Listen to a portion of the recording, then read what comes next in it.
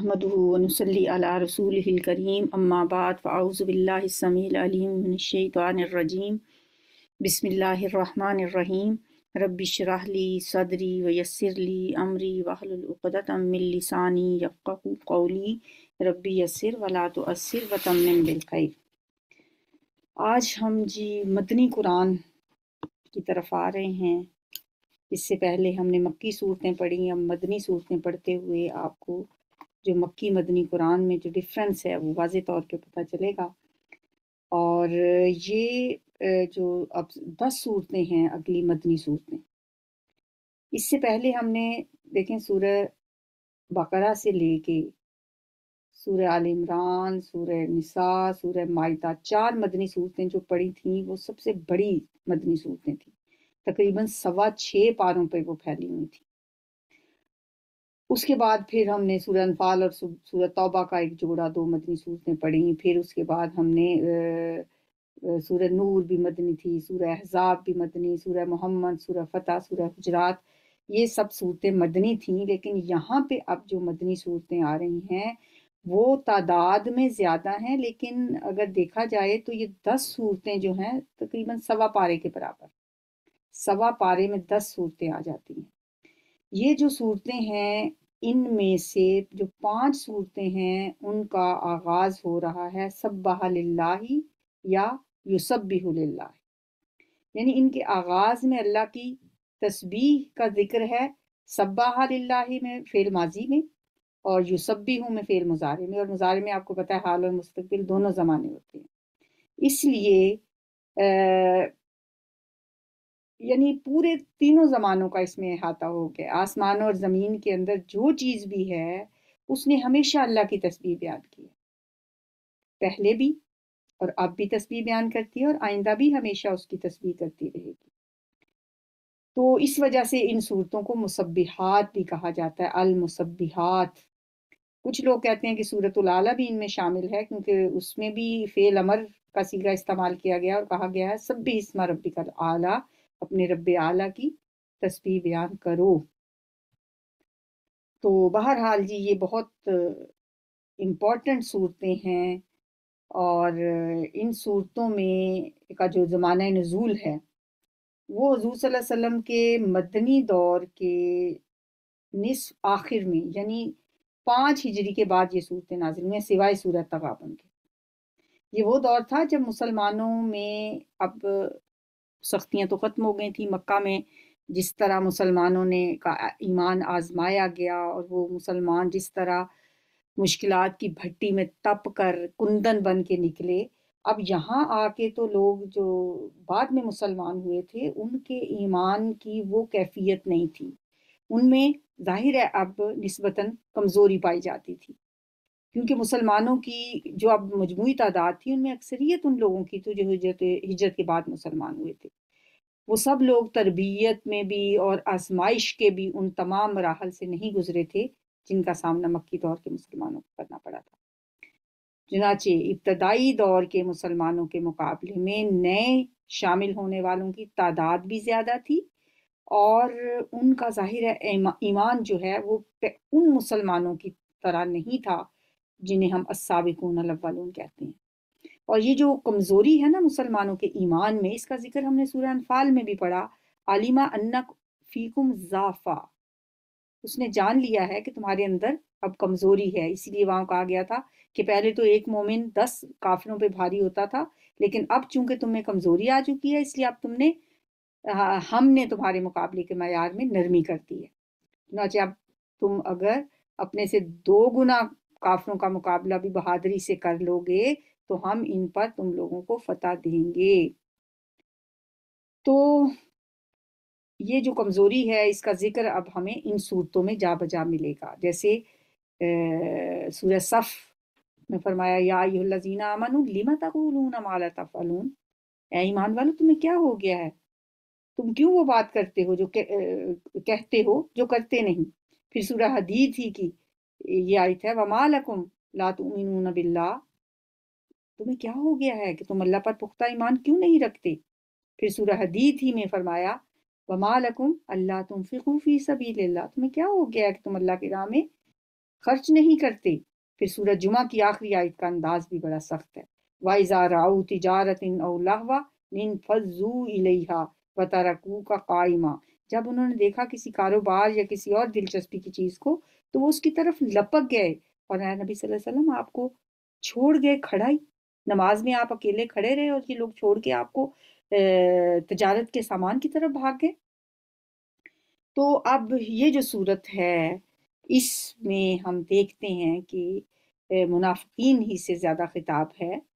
अब इन सूरतों में एक सूरत तो बाकायदा मुनाफून के नाम से, सूरह मुनाफिकीन सॉरी, सूरह मुनाफिकून भी मौजूद है। लेकिन सूरह हदीद में भी मुनाफ़त का जो बीमारी है मुनाफ़त का जो मर्ज़ है, उसकी अलामत भी बताई गई हैं और उसकी तशखीस भी की गई है। अब हम इस सूरत का आगाज़ करते हैं। बिस्मिल्लाहिर्रहमानिर्रहीम। सब्बाह लिल्लाहि मा फिस समावाति वल अर्ज़। सब बहा तस्बी बयान की है अल्लाह की। हर उस चीज़ ने जो आसमानों में है, माँ फिसमावाती जो आसमानों में है, वल अर्स और ज़मीन में है। फिसमावाती वल अर्स। माँ फिसमावात आसमानों के साथ आया माफ़ी जबकि ज़मीन के साथ नहीं आया। आगे जाके यही जो बात है, तस्बीह की, वो इस तरह बयान की गई है मतलब दूसरी सूरतों में फिस समावाति व मा फिल जो कुछ आसमानों में है और जो कुछ ज़मीन में है, वो सब कुछ अल्लाह ताला की तस्बीह बयान करते हैं। हर चीज़ कायनात की अल्लाह की तस्वीर रखती है। कैसे करती है? इसकी एक सूरत तो ये है कि उसे हम कहते हैं कि वो जबान हाल से उसकी तस्वीर बयान करती है। कि हर चीज़ उसकी तस्वीर कैसे करते हैं? जैसे मसलन एक मुसविर है, उसने तस्वीर बनाई है। तो वो खूबसूरत तस्वीर जो है, वो जबान हाल से खुद बोल रही है, अपने मुसवर की तारीफ़ करती हुई नज़र आ रही है। इसी तरह इस कायनात की हर चीज़ अपने वजूद से गवाही दे रही है कि मेरा पैदा करने वाला, मेरा खालिक, मेरा मुसविर हर ऐप से पाक है। कामिल है, मुकम्मल है उसके इल्म, उसकी कुदरत, उसकी हिकमत में किसी किस्म की कोई कमी नहीं है। कायनात की हर चीज़ जबान हाल से बोल रही है। दूसरी सूरत तस्बीह की है, वो है जबानी तस्बीह, जो कि खुद कुरान में से भी साबित है। जैसे कि एक जगह पे अल्लाह ताला फरमाते हैं कि क़यामत के दिन जब इंसानों के आज़ा उनके खिलाफ गवाही देंगे तो वो लोग हैरत से अपनी स्किन से, अपनी खालों से पूछेंगे, तुमने हमारे खिलाफ गवाही क्यों दी? तो जवाब में वो कह, कहेंगी, अन अंत का कि आज उस अल्लाह ने हमें भी जबान दे दी है, जिसने हर शय को जबान दी। फिर एक जगह पे फरमाया, युसब्बिहु तुसब तुसब्बिहु लहु समावात सब वल अर्ज़ व मन फीहिन्ना व इम मिन शैइन इल्ला वलाकिल्ला तफकाहून तस्बीहा। हूँ उसी की तस्बीह कर रहे हैं सातों आसमान और ज़मीन और तमाम मखलूक़ात भी जो उनमें है। और कोई चीज़ नहीं मगर ये कि वो तस्बीह करती है उसकी हमद के साथ। लेकिन तुम नहीं समझ सकते उनकी तस्बीह को। इससे क्या पता चला कि कायनात की हर चीज़ अपनी ज़बान हाल से भी अल्लाह की तस्बीह कर रही है? और अल्लाह की अता करदा जो उसकी मखसूस ज़बान है, हम नहीं जानते कि वो किस ज़बान में अल्लाह की तस्वीर करते क्योंकि अल्लाह ने बता दिया है कि वाला किल्ला तफ़ाहून तस्बीह हम तुम उनकी तस्वीर को नहीं समझ सकते। जो भी उनकी ज़बान है, पत्तों की सरसराहट है, परिंदों की चहचहाहट है, ये सब चीज़ें अल्लाह की तस्वीर ही हो सकती हैं। हम नहीं जानते कि हर चीज़ अपनी मखसूस ज़बान में किस तरह अल्लाह की तस्वीर में मसरूफ़ है। इसके अलावा इसकी तस्वीर की और सूरतें भी हो सकती हैं, जो कि हमारी समझ में नहीं आ सकती, जब अल्लाह ने बता दिया हमें कि तुम नहीं समझ सकते। वाहुवल अजीज़ुल हकीम, और वो बहुत गालिब और बहुत हिकमत वाला है। ये दोनों नाम अल्लाह के बहुत खूबसूरत नाम हैं। ये कुरान में जा बजा, ये दोनों नाम इकट्ठे आए हैं। अज़ीज़ वो हस्ती होती है जिसका अख्तियार मुतलिक हो। इंसानी सतह पे जब मुतलकुल अनानियत आती है तो हमें समझ आ जाती है कि एक डिक्टेटर कैसा होता है। जब भी किसी को कोई ऐसी ऐसे अख्तियार मिलते हैं जो लामहदूद हों तो वो फिर उनका गलत इस्तेमाल करने में कोई कसर नहीं छोड़ता।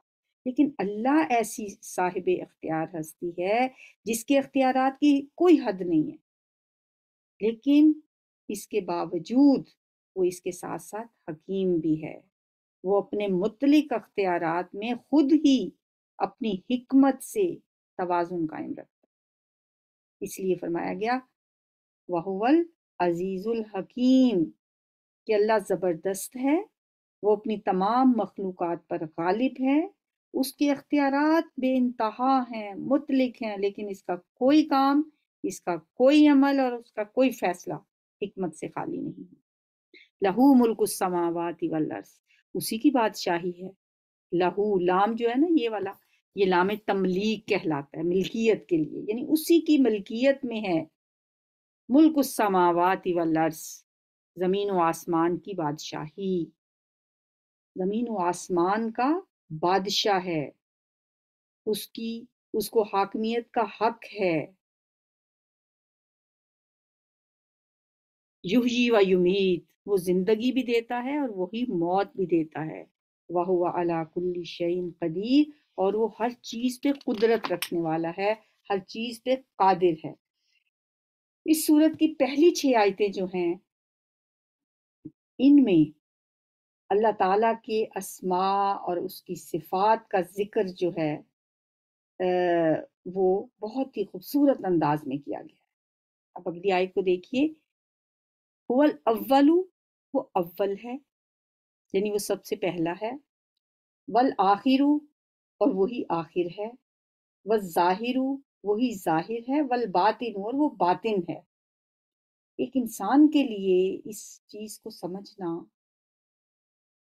बहुत मुश्किल है कि हर जमाने में, हर जगह पे अगर वही है तो फिर बाकी सब क्या है? जबकि तुझ भी नहीं कोई मौजूद फिर ये हंगामा ए खुदा क्या है? अल्लाह ही हर तरफ़ है। बहरहाल, आसान सा मफहम इस साइड का ये है कि ये कायनात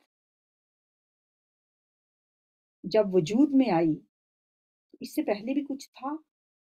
एक ऐसा वक्त भी तो था जब ये कायनात नहीं थी। उस वक्त कौन था फिर? ज़ाहिर है, अल्लाह उस वक्त भी मौजूद था। तो इस कायनात का आगाज़ कहाँ से हुआ? अल्लाह से। फिर एक ऐसा वक्त भी आएगा जब इस कायनात में कुछ भी बाकी नहीं रहेगा? कुल्लू मना लिया फान? तो जब ये सब कुछ नहीं रहेगा तो उस वक्त कौन होगा? इसका जवाब भी कुरानी हमें देता है। वजह कजुल जलाल और बाकी रहेगा सिर्फ़ तेरे रब का चेहरा, जो बहुत बुजुर्गी वाला और बहुत अजमत वाला है। तो जब कुछ नहीं रहेगा तो अल्लाह उस वक्त भी मौजूद होगा। तो फिर आखिर कौन हुआ? ज़ाहिर है कि अल्लाह। अव्वल भी अल्लाह, आखिर भी अल्लाह। अव्वल और आखिर के दरमियान ज़ाहिर भी है, वही, और बातिन भी है, वही। एक हदीस में आता है कि नबी सल्लल्लाहु अलैहि वसल्लम आम लोगों के लिए, आम लोगों को अक्सर ये दुआ पढ़ने के लिए कहा करते और अपनी बेटी हज़रत फातिमा को भी आपने ये दुआ सिखाई थी। दुआ तो थोड़ी सी लंबी अल्लाह रब समावाती व रब्बल अर्जी व रब्बल अर्शिल अजीम। इसमें आगे जाके फिर फरमाते हैं, अल्लाहुम्मा अंतल अव्वलु फलैसा क़ब्ल का अल्लाह, तू ही अव्वल है, तुझसे पहले कुछ भी नहीं है। फलैसा क़ब्ल का शै तुझसे पहले कोई चीज़ नहीं थी। व अंतल आखिर फ़लई सा बाद का शई और तू ही आखिर है, तेरे बाद भी कोई चीज़ नहीं होगी। व अंत ज़ाहिर वलईसा फौका का शई और तू ही ज़ाहिर है, तुझसे ऊपर कोई चीज़ नहीं है। व अंतल बातिन फलईसा दून का और तू ही ऐसा बातिन है कि तुझसे छुपी हुई कोई चीज़ नहीं है। वह वह विकुल्ली शईन अलीम और वो हर चीज़ का इल्म रखता है। जब हर ज़माने, हर मकान में वही वो है, ज़ाहिर भी वो है, बातन भी वो है, कोई चीज़ उससे पोशीदा कैसे हो सकती है? वो तो इंसान के दिलों में भी झाँक लेता है, उसके ख्यालात भी पढ़ लेता है। पूरा की आयत है ना वलकद खलकनल इंसान व नालम मा तुवस्विसु बिही नफ्सा। मा तुवस्विसु बिही नफ्सुहु, फनहनु अक़रबु इलैहि मिन हब्लिल वरीद। और हमने ही इंसान को पैदा किया और हम खूब जानते हैं जो उसका नफ्स वस्फ से डालता है और हम तो उससे उसकी रगे जहाँ से भी ज़्यादा करीब है। वह हुआ बिकुल्ली शईन अलीम, वो हर चीज़ का इल्म रखता है। इससे पिछली आयत में क्या फरमाया था? पहले अलाकुल्ली शईन कदीर, यानी हर चीज़ पर कादिर अल्लाह ही है। इस साइट में उसके इल्म कुल का बयान है कि उसे हर चीज़ का इल्म है। वह कुल्ली शईन अलीम। वल्लजी वही है जिसने खलक समावाती पैदा किया आसमानों को वल्लर्जा और ज़मीन को फ़ी सित्तयामिन छह दिनों में। सुमस्तवा फिर वो मुस्तवी हुआ। फिर उसने करार पकड़ा अलल अर्श अर्श पर। ये मुस्तवी जो लफ्ज मैंने बोला है इस तवा का मतलब उसने करार पकड़ा, वो ठहरा, वो बैठा इस्तवा यस्तवी इस्तवाउन होता है। वो एक बड़ा शेर तो बड़ा शिरकिया सा है, लेकिन उसमें ये लफ्स समझ आ जाता है कि वो जो मुस्तवी अर्श था, खुदा होकर उतर पड़ा है मदीने में, मुस्तफ़ा होकर। अस्तगफिरुल्लाह। पता नहीं किसने ये इतना शिरकिया शेर लिखा। बहरहाल उसमें लफ्स जो मुस्तवी है, वो समझ आ जाता है। मुस्तवी अर्श था, खुदा होकर। यानी जो अर्श पे जो अल्लाह ताला ठहरा हुआ था, नबी सल्लल्लाहु अलैहि वसल्लम की शक्ल में मदीने में खुदा बन गया खैर मतलब तो आपको समझ आ गया होगा कि मुस्तवी का क्या मतलब है। सुम मस्तवा अर्श। फिर वो मुस्तवी हुआ अर्श पर। यालम वो जानता है, मा यालिजू फिल अर्जी। जो कुछ ज़मीन में दाखिल होता है यालिजू ये लफ्ज़ भी बहुत दफ़ा मुख्तलिफ़ शक्लों में हमने पढ़ा। बिस्मिल्लाह खैर मौलजी व खैर मखरजी, जो घर में दाखिल होने की दुआ है, उसमें भी ये लफ्ज़ मौलजी की शक्ल में आता है। फिर यूल जुल्लहार ये हमने पढ़ा, दाखिल करता है रात को दिन में। तो यहाँ पे या लमा यालिजू, वो जानता है जो कुछ के दाखिल होता है फिर लर्जी ज़मीन में वमा यखरुजु मिनहा, जो कुछ निकलता है उससे। वमा यंजिलु, और जो कुछ उतरता है मिनसमाई आसमान से, वमा या रुजू फीहा, और जो कुछ चढ़ता है इसमें। इन सबको अल्लाह ताला जानता है। या रुजू का लफ्ज उरूज से भी है महराज का लफ्ज भी इसी से है। या रुजू जो चढ़ता है, सीढ़ी को भी कहते हैं तो जो कुछ आसमान में चढ़ता है, वो उसे भी जानता है।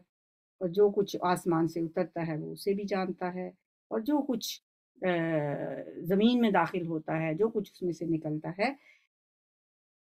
मतलब ये है कि ज़मीन में क्या चीज़ जाती है। ज़मीन में पानी जज्ब होता है, मुख्तलिफ़ किस्म के बीज बोए जाते हैं, ज़मीन में मुर्दे भी दफन किए जाते हैं और आसमान से बारिश उतरती है। आसमान से क्या चीज़ उतरती है? आसमान से बारिश उतरती है। फरिश्ते अहकाम इलाही लेके उतरते हैं वो भी आसमान से उतरते हैं। फिर आसमान पे चढ़ती कौन सी चीज़ है? मसलन फरिश्ते जब इंसान फौत होता है तो उनकी रूह को लेके आसमान पे चढ़ते हैं। हमारे दिन रात के जो अमाल हैं वो लेके फरिश्ते जाते हैं आसमान पे। बुखारात की शक्ल में भी आ, पानी चढ़ता है। मतलब बहुत कुछ जो ज़मीन पे हो रहा होता है और फरिश्ते दिन रात की रिपोर्ट्स लेके ऊपर जाते हैं। मतलब रात के जो अमाल होते हैं, वो रात ख़त्म होने से पहले फरिश्ते ले जाते हैं और दिन के अमाल दिन ख़त्म होने से पहले ले जाते हैं। वाहुआ माकुम, और वो तुम्हारे साथ है। आई नमाकुम तुम, जहाँ कहीं भी तुम हो।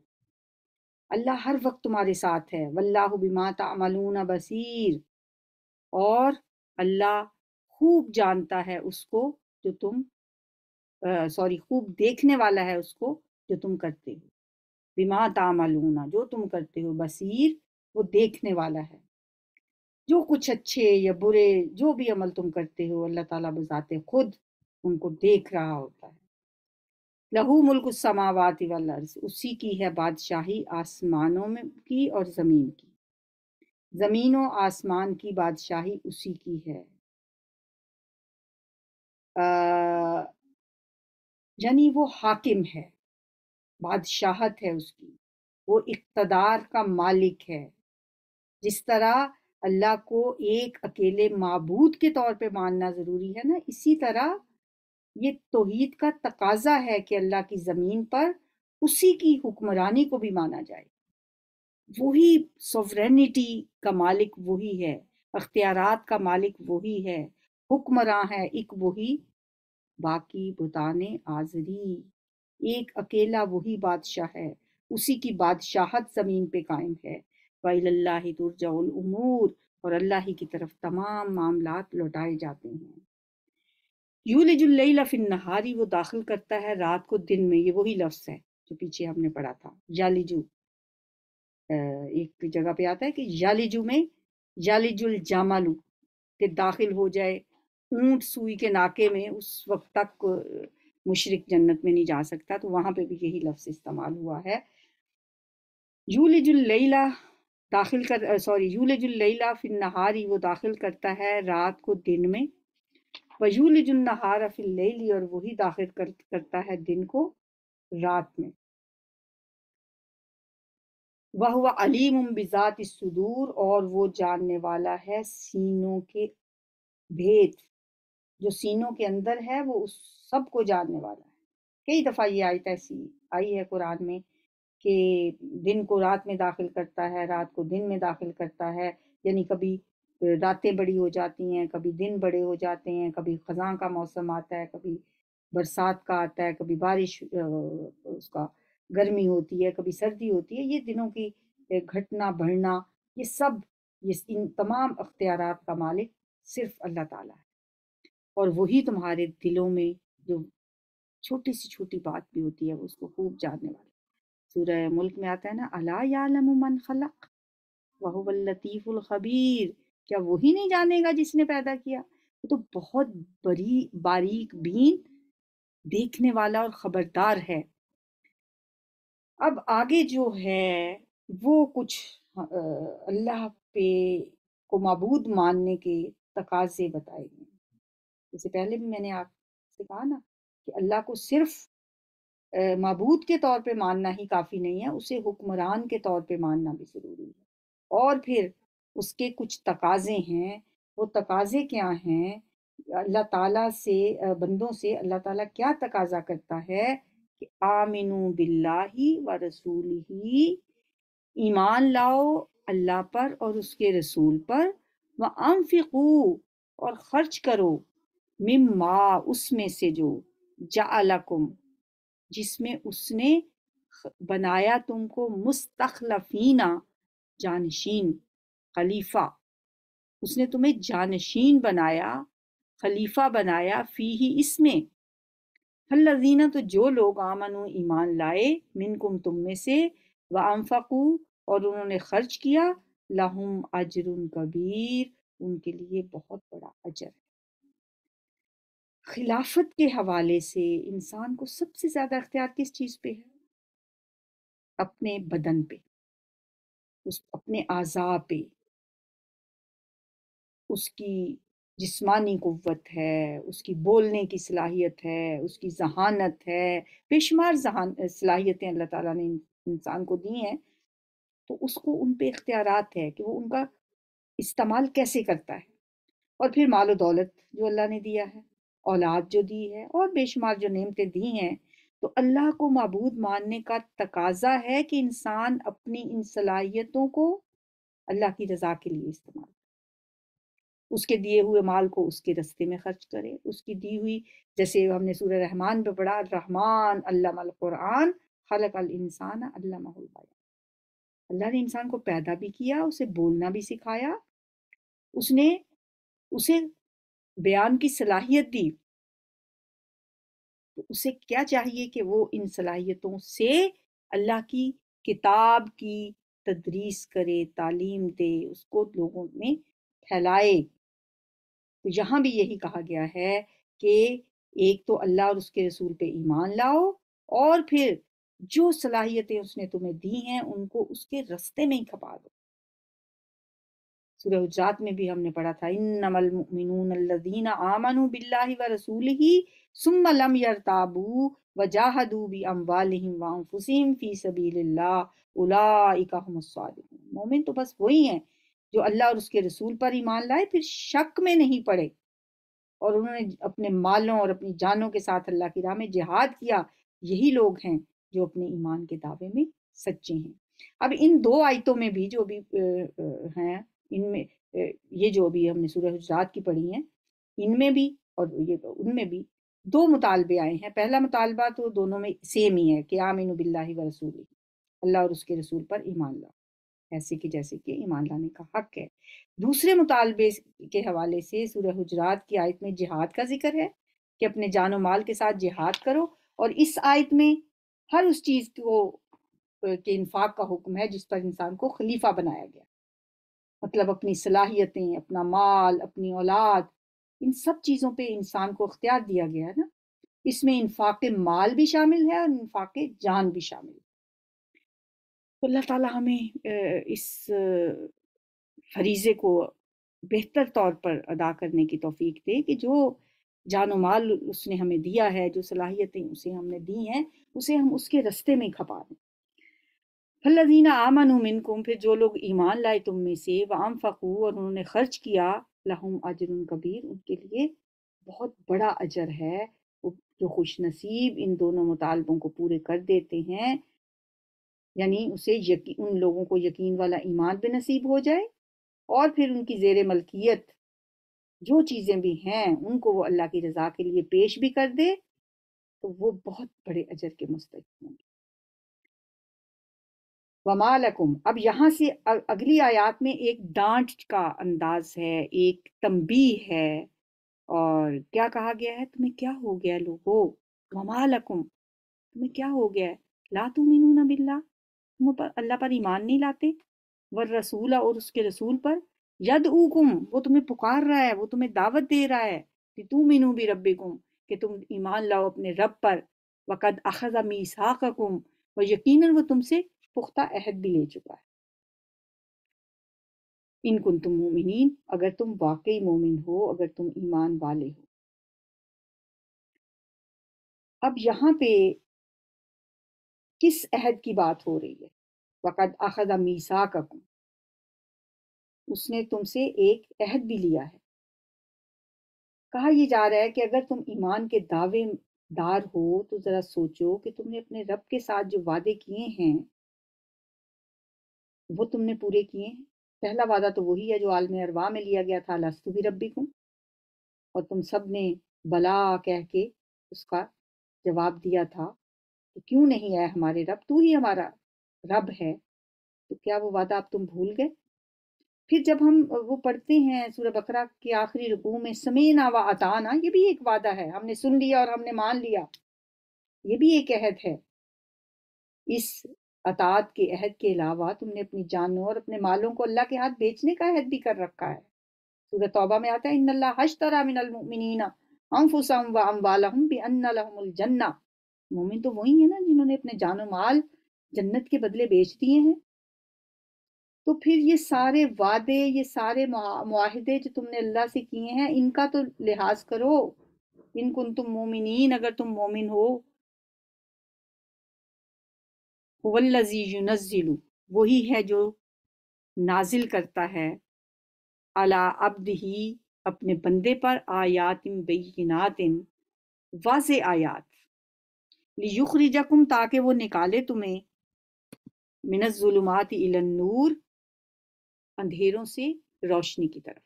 व बिकुम रहीम, और बेशक अल्लाह ताला तुम पर यकीनन बहुत शफकत करने वाला और बहुत मेहरबान है। अब ये जो पिछली आयात में एक डांट का अंदाज था, वो सुनने के बाद हर मुसलमान को ये सोचना चाहिए कि वो क्या कर रहा है। मुसलमान तो हम हैं, किसी ना किसी दर्जे में। हम नमाज़ भी पढ़ते हैं, रोज़ा भी रखते हैं, लेकिन हमें ये एहसास नहीं है कि क्या इस्लाम के साथ हमें हकीकी ईमान भी नसीब हुआ है या नहीं हुआ? क्योंकि एक आयत हमने पढ़ी थी ना कि ये ना कहो कि हम ईमान ले आए, बल्कि कहो हम इस्लाम ले आए। ईमान अभी तुम्हारे दिलों में दाखिल नहीं हुआ। ईमान की जो बात है, अगली आयत में इस हवाले से अल्लाह ताला रहनुमाई फरमा रहे हैं कि वही तो है जो अपने बंदे पर ये आयात बैनात नाजिल कर रहा है। यानी यकीन वाले ईमान का मंबा और सरचश्मा क्या है? आयात बैनात अगर तुम इस किताब को सही मानों में दिल की आँखों से पढ़ोगे, इस पर गौर करोगे, तदब्बर तफक्र करोगे तो तुम्हें खुद ब खुद अपने अंदर एक ईमान का नूर महसूस होगा। ईमान तो हर इंसान के अंदर मौजूद होता है ना, लेकिन वो एक्टिव नहीं होता, उसे एक्टिव करने की ज़रूरत होती है। तो तुम्हें पता होना चाहिए कि इस ईमान को एक्टिव करने का नुस्खा क्या है? आयातुम बैनात अल्लाह है जो नाजिल करता है अपने बंदे पर आयातुम बैनात युखरिजकुम मिनज़्ज़ुलुमात इलन-नूर ताकि वो तुम्हें उन जहालत के अंधेरों से, ये शक व शुबा वाले जो तुम्हारा एक कैफियत है, उससे निकाल के रोशनी में ले आए। वो तुम्हारे हाल पर बहुत शफीक है, बहुत मेहरबान है।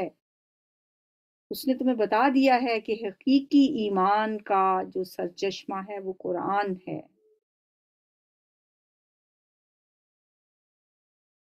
नबी सल्लल्लाहु अलैहि वसल्लम को भी ईमान कुरान ही से मिला ना? सूरह शूरा में हमने पढ़ा था, वकजालिका, औहैना इलैका रूहम मिन अमरिना। मा कुंता तदरी मल किताब वलल ईमान। ए नबी, इसी तरह हमने आपकी तरफ़ वही की है, एक रूह अपने अमर में से। आप नहीं जानते थे कि किताब क्या होती है और ईमान क्या होता है। वलाकिन जालनाहु नूरन नहदी बिही मन नशाउ मिन इबादिना। लेकिन इस कुरान को हमने ऐसा नूर बनाया है, जिसके ज़रिए से हम हदायत देते हैं अपने बंदों में से जिसको चाहते हैं। का मुस्तकीम, और आप यकीनन सीधे रास्ते की तरफ़ हदायत देते हैं यानी इससे पहले ना तो आप किसी और किताब से वाकिफ थे तो रात से, ना इंजील से, कुछ नहीं जानते थे, आप तो उम्मी थे। लेकिन हमने कुरान को नूर बनाकर आपके दिल पे उतारा तो इसका, इससे आप नूर ईमान से मुनवर हो गए, और फिर बनी नौ इंसान के लिए रोशनी का मीनार बन गए। अब आप लोगों को हदायत देंगे और उन्हें सीधे रस्ते की तरफ़ बुलाएँगे।